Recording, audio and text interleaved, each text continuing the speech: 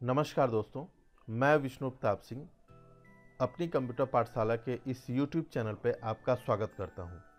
Friends, ये हमारा Tally E R P nine का लेक्चर चल रहा है। आज हमारा लेक्चर नंबर 21 है। जो फ्रेंड्स, इस वीडियो को पहली बार देख रहे हैं, उन लोगों से मेरा रिक्वेस्ट है कि लेक्चर नंबर वन से डे बाई डे जैसे हमारा लेक्चर है, वैसे अगर देखते हुए चलें तो उनको ज़्यादा अच्छे से समझ में आएगा। फ्रेंड्स आज का टॉपिक है हमारा बैंक रिकॉन्सिलेशन बैंक रिकॉन्सिलेशन तो फ्रेंड्स इसको हम लोग समझेंगे कि बैंक रिकॉन्सिलेशन क्या होता है। और एक बार सिलेबस देख लेते हैं। ये हमारा सिलेबस है। ओवर यू ऑफ़ टैली से स्टार्ट हुआ है। एक बार मैं फिर से बता दूँ, जो फ्रेंड्स इस वीडियो को पहली बार देख रहे हैं और टैली पे अच्छी नॉलेज चाहते हैं उनको अकाउंट्स बैकग्राउंड से नहीं है कॉमर्स बैकग्राउंड से नहीं है, वो भी इसको अच्छे से सीख और समझ सकते हैं। वो ओवरव्यू आप टैली से करेंगे तो इसमें मैंने बेसिक अकाउंटिंग की भी नॉलेज दी हुई है। यहाँ से एक एक लेक्चर करते करते आप आएँगे। आज का टॉपिक है हमारा बैंक रिकन्सिलेशन फ्रेंड्स छोटा टॉपिक है ये। इसमें ज़्यादा समझने की ज़रूरत नहीं है। हम लोग आइए टैली के अंदर चलते हैं और बहुत ही ईजी टॉपिक है। आराम से कवरअप हो जाएगा। तो फ्रेंड्स आइए हम लोग टैली के अंदर चलते हैं। फ्रेंड्स ये हमारा लास्ट लेक्चर का, यानी लेक्चर नंबर ट्वेंटी का ही असाइनमेंट है। वाउचर टाइप टेस्ट नाम से हमारी कंपनी बनी हुई है और इसमें हमने वाउचर टाइप की वर्किंग की थी, यानी हमने डिफाइन किया था कि किन किन चीज़ों को हमें कैश से पेमेंट करना है और किन किन चीज़ों को हमें बैंक से पेमेंट करना है।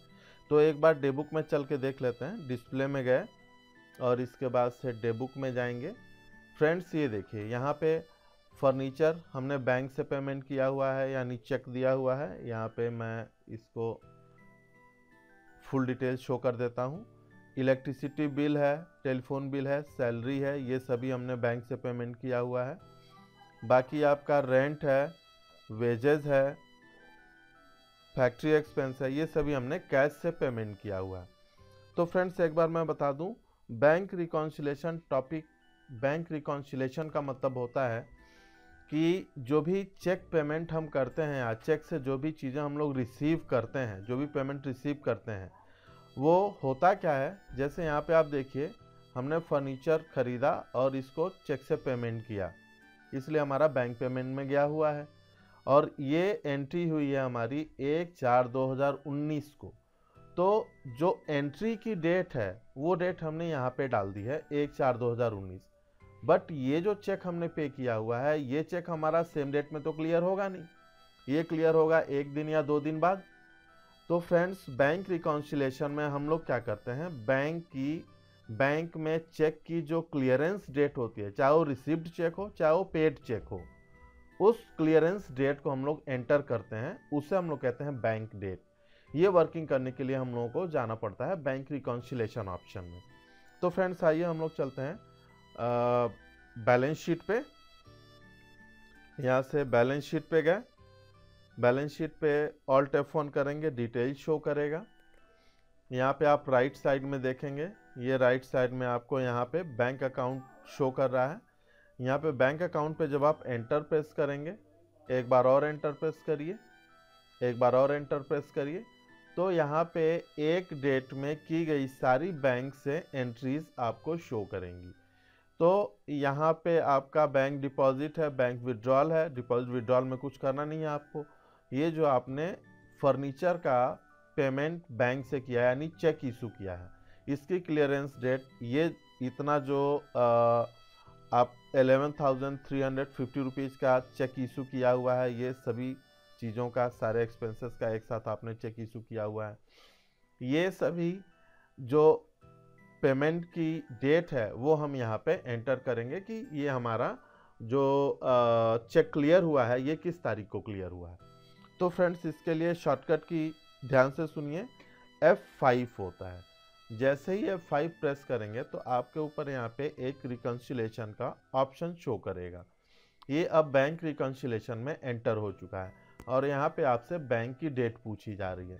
तो फ्रेंड्स, यहाँ पे हम लोग बैंक की डेट एंटर कर देंगे। यहाँ पे जैसे मान लीजिए एक एक चार दो हज़ार उन्नीस को फर्नीचर हमने परचेज किया, चेक दी और अगले दिन दो तारीख को ये हमारा क्लियर हो गया। तो यहाँ पे हम लिखेंगे दो डैश चार एंटर करेंगे। ये देखिए क्लियरेंस डेट आ गई और इसकी डेट हम नहीं डालते हैं। एंटर कर देते हैं, ये एक्सेप्ट हो गया। अब देखिए, सारी चीज़ें शो कर रही है। फिर से ज़रा F5 प्रेस करिए और फिर देखिए। ये आपने F5 प्रेस किया। फ्रेंड्स यहाँ पे आप देख रहे हैं फर्नीचर गायब हो गया है। क्यों? क्योंकि फर्नीचर का पेमेंट बैंक से कट चुका है। अब इलेक्ट्रिसिटी बिल की बारी है। इसका भी हम दो तारीख को ही एंट्री कर देते हैं। क्योंकि फ्रेंड्स दो तारीख से आगे की एंट्री नहीं कर सकते, क्योंकि ये हमारा एजुकेशनल वर्जन है और एजुकेशनल में एक तारीख और दो तारीख में ही एंट्री होती है। एंटर करेंगे। एंटर ये भी हमारा क्लियर हो गया। अब अगेन F5 प्रेस करिए। ये देखिए, सिर्फ़ डिपॉजिट और विड्रॉल शो कर रहा है। बाकी जो दो हमने चेक से पेमेंट किए थे, वो सभी जो एंट्रीज थी, वो हमारी गायब हो गई। यानी उनका पेमेंट हमारे अकाउंट से कट चुका है। इसी तरह से जो पेमेंट रिसीव्ड हुए हों, उसकी भी एंट्री कर सकते हैं। जैसे हमने चेक रिसीव किया, जैसे सपोज़ हमने किसी को सामान बेचा, उसने हमको चेक पे किया। तो हम क्या करेंगे?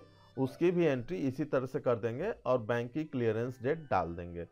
तो फ्रेंड्स ये था हमारा आज का टॉपिक होप आपको अच्छा लगा होगा। फ्रेंड्स वीडियो अच्छा लगे तो इसे प्लीज़ लाइक और शेयर ज़रूर करें जिससे कि मेरे को मोटिवेशन मिले और ज़्यादा से ज़्यादा लोगों की हेल्प हो सके। Thank you